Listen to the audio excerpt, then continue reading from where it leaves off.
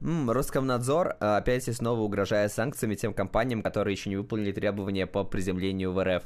Это типа такой закон, который обязует крупные компании открыть свои офисы в РФ и зарегать личный кабинет на сайте РКН. Помимо таких, как Telegram и Discord, список попадает и Twitch.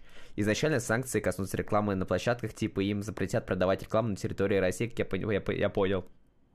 А и дальше пока непонятно. Twitch, в свою очередь, не торопится выполнять данный закон, хотя такие, как TikTok, Viber, Twitter, Spotify уже прогнулись, исполнили эти просьбы и открыли свои личные кабинеты представительства в РФ. Помимо Твича, она не торопится исполнять данные требования Google Телега, Мета, Facebook и Discord. Из вс- всех вышеперечисленных, больше всего я почему-то сомневаюсь в Твиче. Вот прям чую, что им совсем похуен на наш регион, и, возможно, никто там особо заморачиваться не будет. Остается лишь надеяться, что в дальнейшем это не приведет к полной блокировке всего.